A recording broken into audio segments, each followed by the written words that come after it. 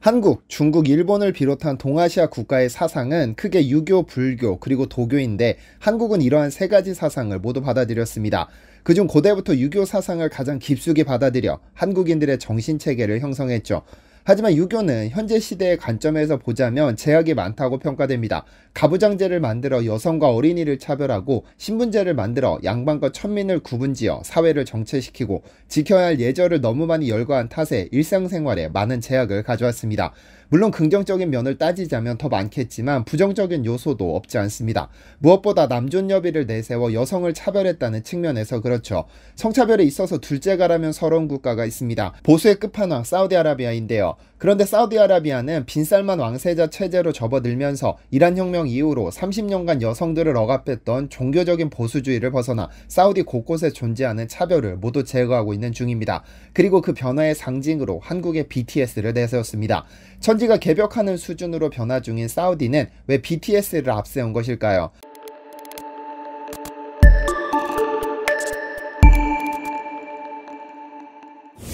안녕하세요 디스멘터리입니다. 지난 2017년 6월 21일 사우디아라비아는 새로운 왕세자로 모하메드 빈 살만이 책봉됐습니다. 왕세자로 책봉됐다는 것은 차기 국왕이 된다는 뜻이죠. 전제 군주국인 사우디아라비아는 왕이 왕실의 모든 재산을 차지하게 되는데 책봉 당시 알려진 왕실 재산만 무려 1620조 원입니다.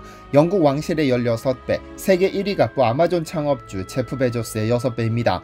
그럼 그가 책봉되자마자 비정상적인 사우디아라비아를 없애버리겠다고 선언합니다. 오늘 영상을 시작하기 위해 반드시 훑어봐야 할 중동 역사가 하나 있습니다. 짧고 간략하게 살펴보고 넘어가겠습니다. 40년 전 발생한 이란 혁명, 다른 말로 이슬람 혁명은 중동을 완전히 바꿔버렸습니다. 1979년까지 이란은 팔라비 왕조가 지배하고 있었는데요. 1925년 지배를 시작한 왕조는 페르시아 제국 후손으로 상당히 온건하고 개방적인 왕조였습니다. 팔라비 2세는 개혁을 앞장세워 탈이슬람 정책을 추진했는데 얼마나 개방적이었던지 무슬림 여성들에게 히잡을 착용하지 않아도 된다고까지 했죠. 또한 여성들은 꿈도 꾸지 못했던 정치 참여까지 허용했는데 이는 다른 이슬람 국가들의 입장에서 보자면 알라를 모독하는 것과 같아 눈에 가시 같았으나 워낙에 방대한 용토를 차지한 덕에 큰 반발은 없었습니다. 여기에 1974년 테헤란 아시안 게임까지 개최하면서 다른 중동 국가들과는 전혀 다른 노선을 택했습니다만 과도한 개혁은 반대파를 만들어냅니다. 바로 반서방 무슬림 극단주의자 시아파였죠. 이들은 종교 지도자 아야톨라 호메이니를 내세워 아시안 게임을 기점으로 왕조의 반기를 들기 시작했는데 1977년 호메이니의 장남이 사망하는 사건이 발생합니다. 팔라비 왕조의 소행이라는 소문이 돌기 시작하면서 대규모 시위가 시작됐고 왕조는 강경 진압을 선택했습니다. 유혈 사태가 터지며 저항은 더욱 거세졌는데요. 결국 팔라비 2세는 이를 견디지 못하고 1979년 1월 국외로 도피하고 마침내 이란인들의 정신적 지주 호메이니가 이라크 프랑스를 떠돌다 입국하게 되죠. 호메이니는 즉각 이란의 실권을 장악했고 장악하자마자 반대파에 대한 숙청을 시작합니다. 이때부터 그동안 자유가 주어졌던 이란 여성들의 인권이 바닥으로 내팽개쳐지고 기어코 북한과 야합해 핵개발에 착수했죠. 어쨌든 호메이니가 이란을 장악한 이후 이란 이라크 8년 전쟁이 발발했고 미국을 필두로 한 서방의 경제 제재가 시작된 시발점이기도 하지만 사우디에도 변화를 가져왔죠. 사우디의 왕세자로 책봉된 모하메드 왕세자는 직후 열린 영국 가디언과의 인터뷰에서 지난 30년간 사우디에서 벌어진 일은 사우디답지 않았다. 30년간 이 지역에서 일어난 모든 일들도 중동답지 않은 것이라며 이란 혁명 직후 어떻게 반응해야 할지 모르는 사우디를 비롯한 많은 국가가 이를 모방했다고 말했습니다. 그리고 그 문제가 세계로 번졌으니 이제 그것을 버려야 할 때라면서 변화를 암시했는데요. 변화가 필요하다고 느낀 것도 당시까지도 사우디는 아랍에미레이트나 다른 중동과는 달리 상당히 보수적인 국가로 낙인 찍혀 있었기 때문입니다. 사우디 왕실은 이슬람 순위파 원리주의 와하비즘을 신봉하는데 중세 이슬람 질서를 회복하자는 와하비즘 탓에 사우디에서는 그동안 현대 문명의 수용에 비판적인 사회 분위기가 조성됐고 따라서 여성의 권리도 억압됐죠. 그래서 왕세자는 이 보수적이고 현대 문명이 비판적인 사우디의 이미지를 바꾸려고 한 겁니다. 그런 사우디에서 지난 2019년 10월 11일 BTS의 공연이 개최됩니다. 사우디아라비아 왕실이 직접 BTS를 초청해 세계 최초로 사우디에서 공연을 요청한 것이죠. 원래 사우디에서 외국 가수들이 팝이나 락, 힙합 등을 공연한다는 것은 사실상 불가능했는데 왕실의 초청이 있다면 충분히 가능한 일입니다. 수도 리야드의 킹파드 인터내셔널 스타디움에서 열린 이날 공연을 보러 온 사우디 관객은 무려 3만 명으로 그중 70% 이상의 여성들은 전부 아바야를 착용했는데요. 원래 이날 공연 공연을 앞두고 사우디에서는 엄청난 변화가 감지됐습니다. 우선 여성들이 반드시 착용해야 하는 아바야의 경우 의무 착용을 요구하지 않았습니다. 대부분의 여성들이 아바야를 착용한 것은 자유에 의한 것이지 강제적인 착용은 아니었다는 겁니다. 그리고 원래 이슬람 율법상 사우디 여성이 스타디움에 출입하는 것을 강력하게 제재했는데 2018년 1월부터 축구 경기장에 여성의 입장을 허용하기 시작하면서 이날 공연의 대부분을 여성 관객이 채우게 됐죠. 변화는 여기에서 끝나지 않습니다. 사우디에는 원래 남성 후견인 제도가 있었습니다. 미혼 여성이 결혼이나 여권 취득, 해외 여행 등을 원할 경우 반드시 남성 친척의 허가가 필요했고 결혼한 여성이 집 밖을 외출할 때는 남편, 아들 또는 그들의 위임을 받은 남성 친척이 동행해야 하는 이슬람 전통 마흐람이 엄격하게 적용됐었죠. 그러나 BTS의 콘서트를 앞두고 이런 남성 후견인 제도를 상당히 완화시키면서 외국 여행, 혼인, 이혼, 출생 신고 등을 직접 할 수 있도록 했죠.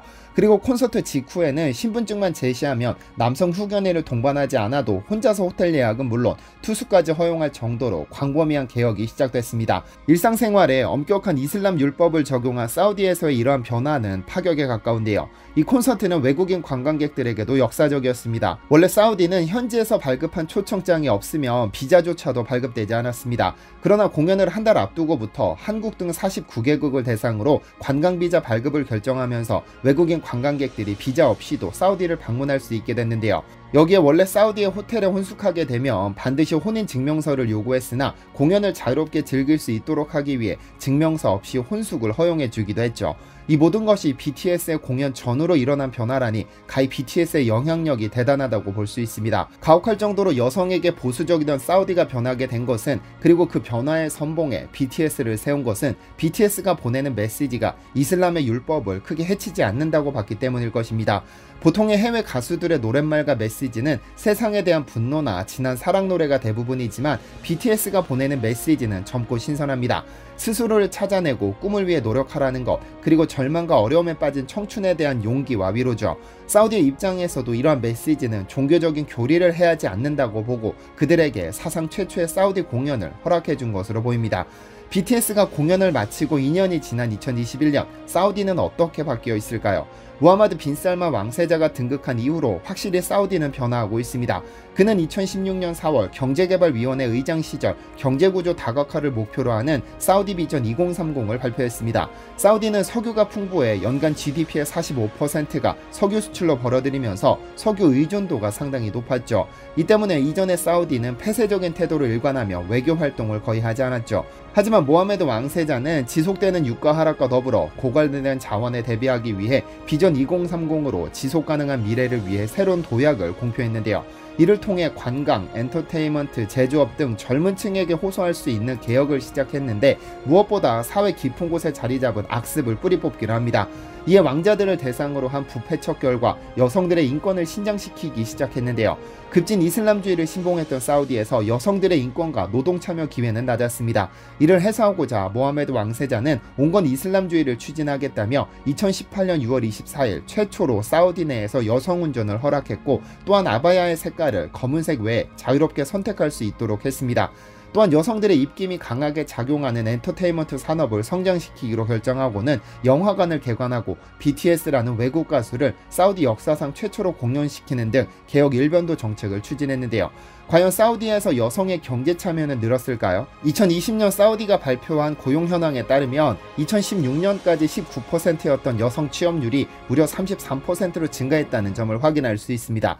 운전과 여행이 가능해지면서 취업문으로 들어선 여성들이 늘었고 이 여성들은 월급을 받아 주얼리를 사고 화장품을 사기 시작했습니다. 덕분에 사우디아라비아 여성을 타겟으로 하는 기업들의 마케팅이 늘고 주말에는 영화관과 쇼핑몰이 여성들로 붐비는 세계 여느 도시와 별반 다를 바 없는 모습입니다.